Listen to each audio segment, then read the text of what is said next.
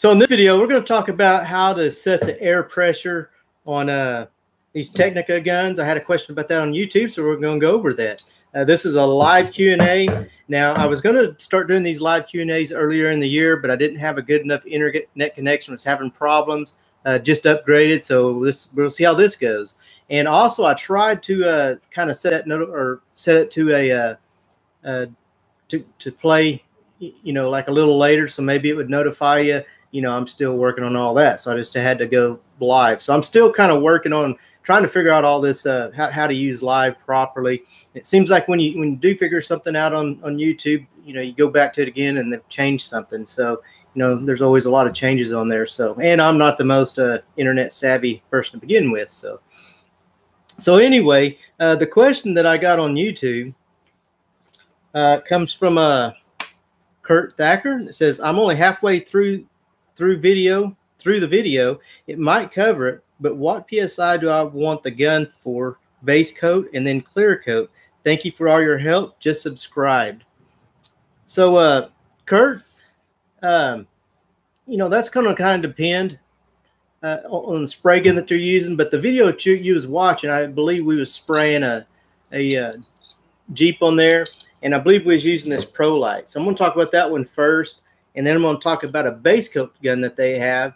And they also have a clear coat gun that you that you can use as well if you want dedicated guns for each uh, application. Now that's not to say you can't use one gun for you know base coat and clear coat. Uh, if you're just doing a few jobs, that's probably going to be what you want to do. But if you're uh, painting all the time, it's probably going to be a good idea to have a, you know, like a dedicated uh, spray gun for everything you do. You know, base coat, you know, maybe waterborne base coat, uh, solvent base.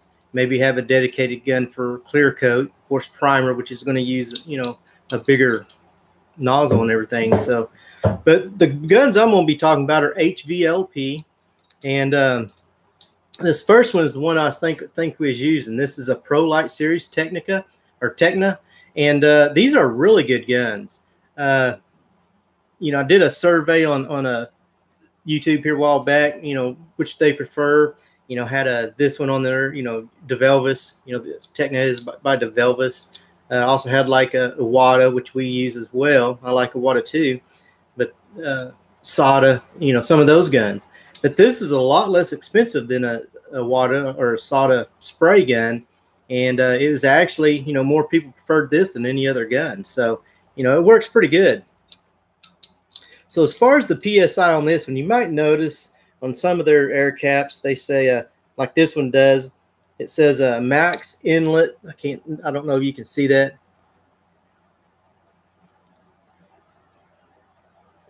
But anyway, it says max inlet of 24 psi. And uh, that is not necessarily want to set the gun. So I got the technical data sheet on that just to kind of go over that air setting part portion of that.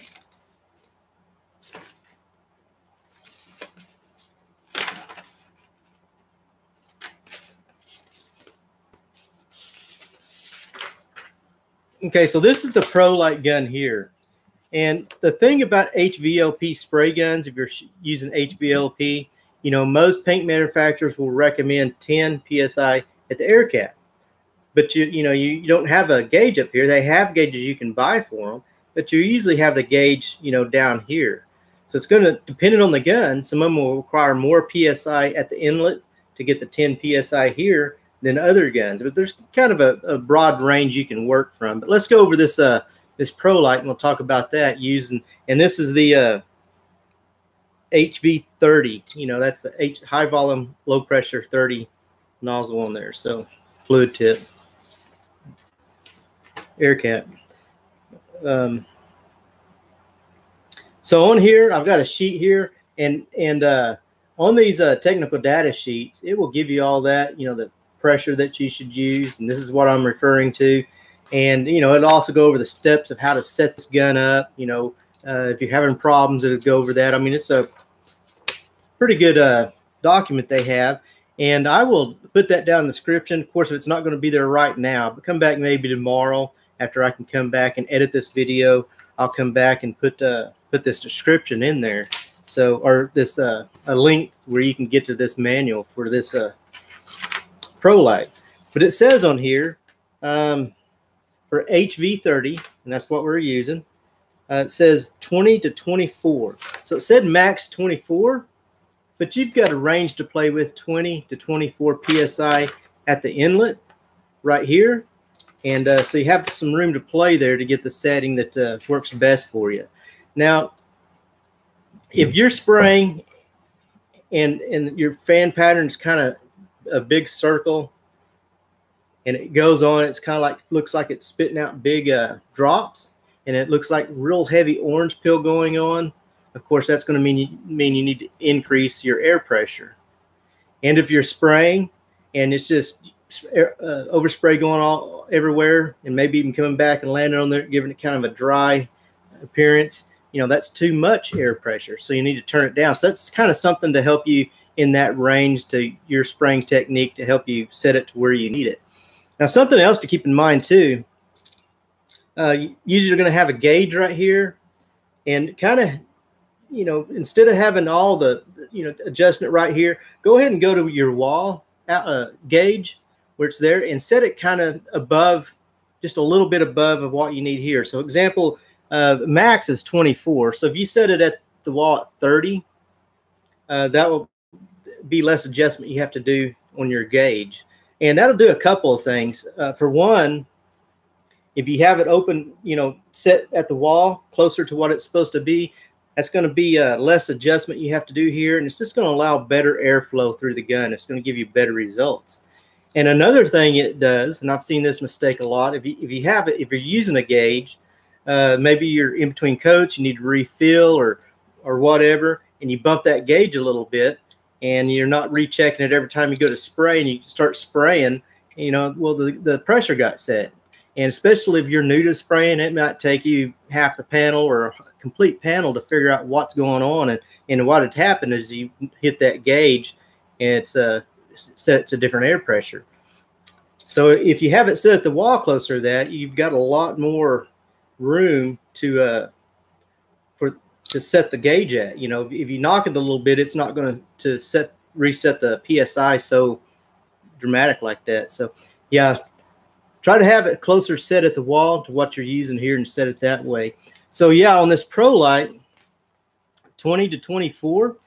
Now another gun that we have, and what we use this one for is waterborne base, but it's a base coat. You could use solvent with it. And uh, this uses an HVLP cap as well. This is HVLP 20, AV20 it says. It don't have the max on here, but know if you can see that. But on that one, it says, uh, if you look at their technical data sheet, has a little bit wider range, 22. Let's see or 20 no 20 to 24 yeah. I've got all these. Make sure i'm looking at the right one here.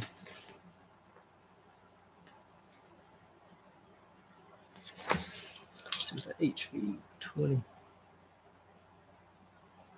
no yeah i was looking at the wrong one. Um, with this one with the hv 30 that's the HV20. Well, I had so many papers, I got them all mixed up.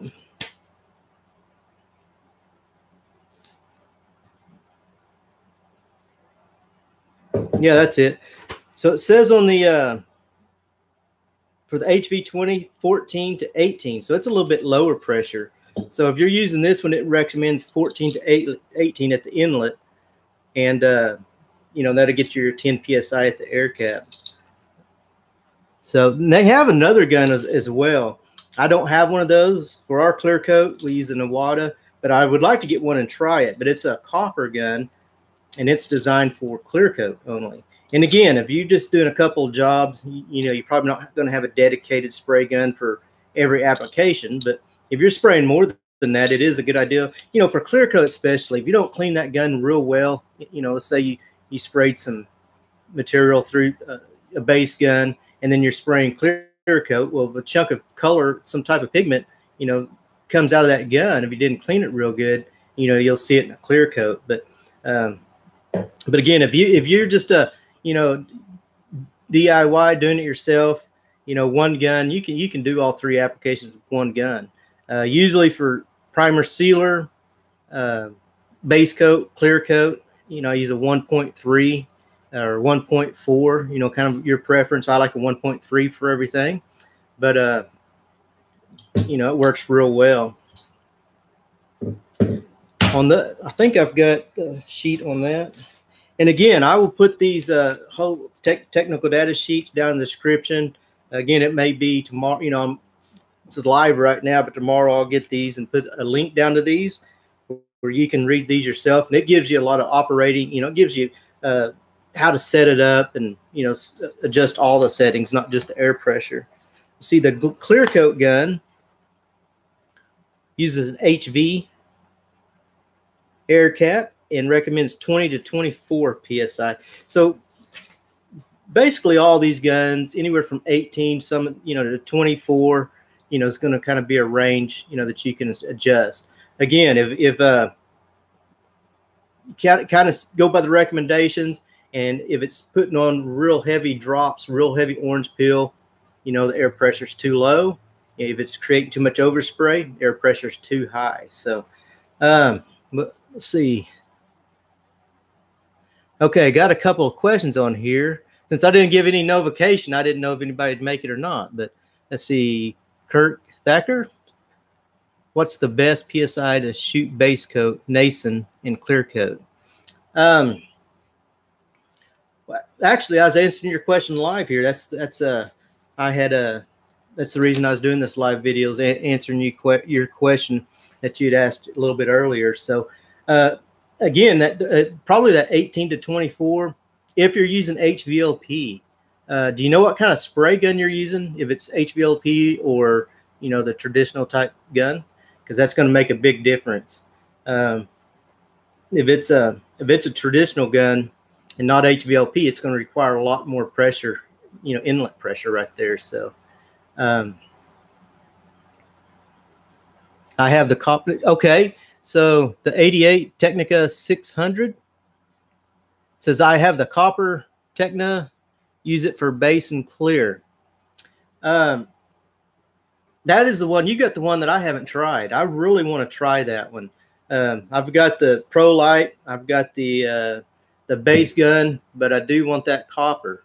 Uh, and I haven't got to try that one. I would like to get one of those and make it a dedicated clear gun. Again, just like you said, you can use it for base and clear, uh, but you know, if you can have a dedicated for each, you know, that's better. But uh, what what do you think about that gun? Um, that copper gun. Okay, Kurt Thacker says it's a HVLP. So yeah, that's going to fall back into that category where you know it's going to be that 10 psi at the air cut cap, and it's going to depend on the gun. You know, the manufacturer like Iwata, you know, they're air pressure sometimes are a little lower than others. SATA may be a little higher.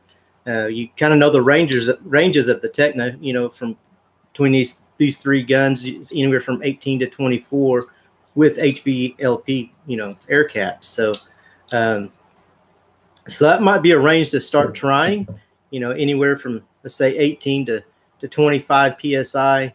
I don't know what gun you have, but then kind of go from that, you know, is it spraying real orange pilly? You know, do some some test patterns, or is it have a real you know too much overspray? And what that'll cause, I mean, it'll go so much overspray, it'll be a lot of buildup, and as you're painting, you'll come back and land on top and kind of give it a a dry appearance, you know, because it's that clear coat is or whatever is drying before it's the surface again. So, also another thing to look for: the air pressure is too high.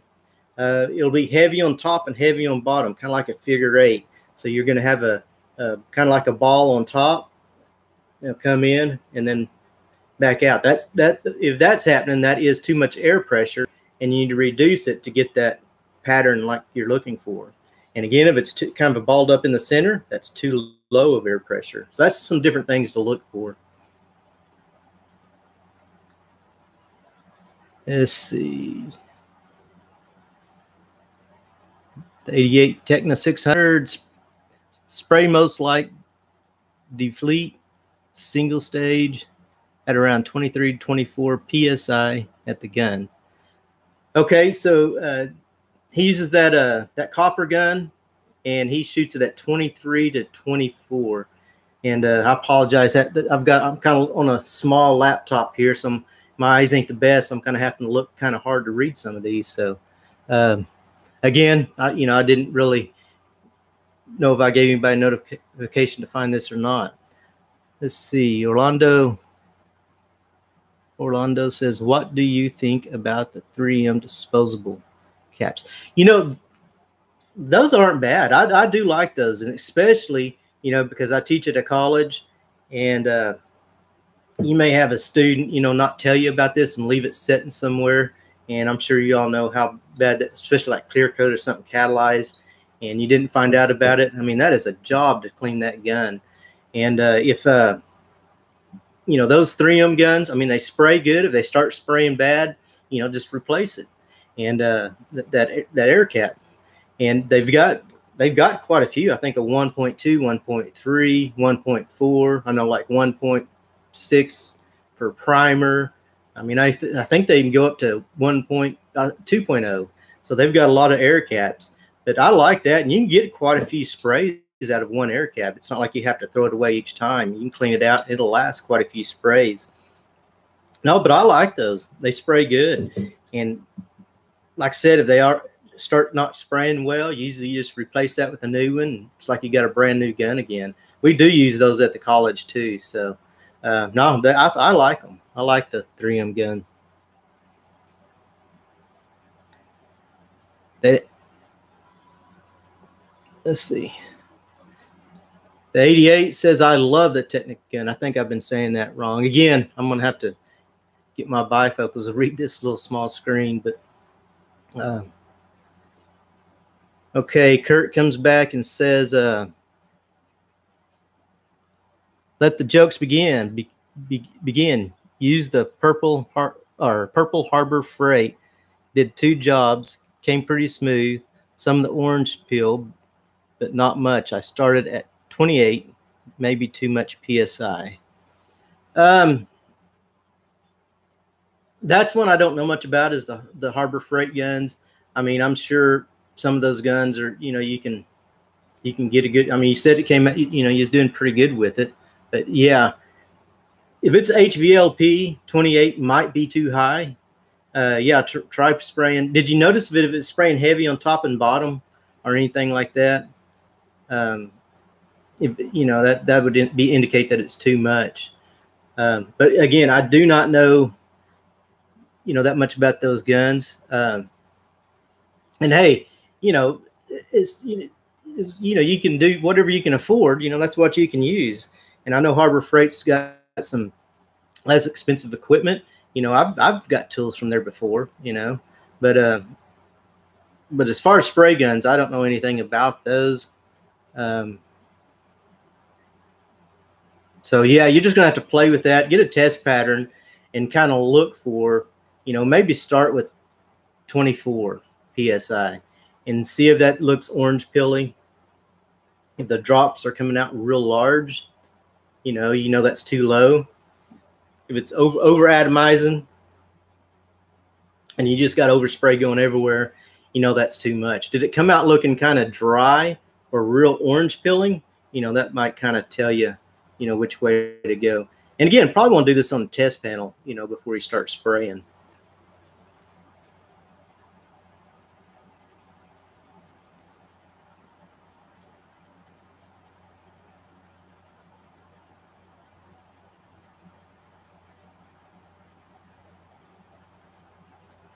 Hmm. Um, OJ Powell for God's sake, says, Where is Brian? He really makes this channel. Well, I'm not sure who Brian is. So, who, who is Brian? Brian, uh, trying to think back. I mean, I've had different people on this channel, but I don't remember Brian.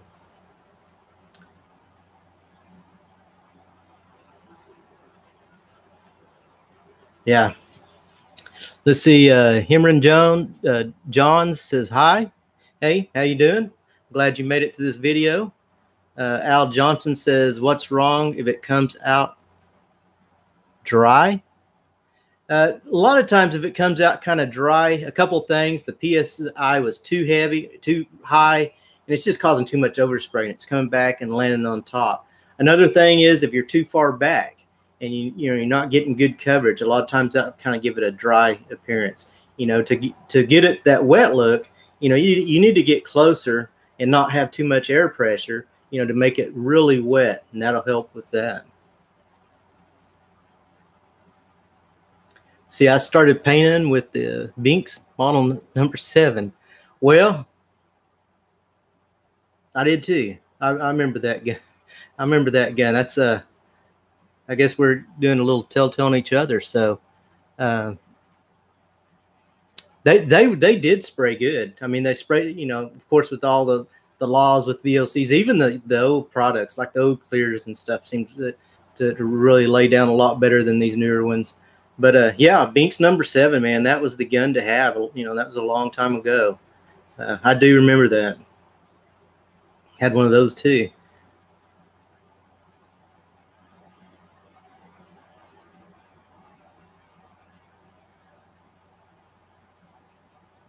Okay, yeah. Uh, also, uh, the 88 Catna 600. I'm probably saying that wrong, uh, but uh, he, he, also mentioned it could be the wrong wrong reducer, and that is a, a, thing too. If you're using too fast a reducer, you know it's drying too fast before it hits the surface, just like too much overspray drying before it hits the surface. But if you're using a, a fast reducer, you know, on a hot day, you know that could be another cause of, of the dry overspray. So, yeah, I may have to on the next live video uh, get someone to help me read these or um, get a bigger screen. Uh, yeah, I'm kind of getting old, and uh, I'm supposed to wear bifocal glasses, but I just I don't like them. They bother me, so it's kind of hard to to read up close with this small print like this. So, okay. Al Johnson says, What happens if the spray booth is too hot? Well, I mean, you still got if it's too hot, you got to use a reducer, you know, that, that matches that. For example, if it's uh, 80 degrees in there and, and you use a fast reducer, that's going to be the same results as, you know, the temperatures, you know, regularly 80 degrees. So whatever the, the booth temperature is, that's where you need to, that's the reducer that you need to use. So, um,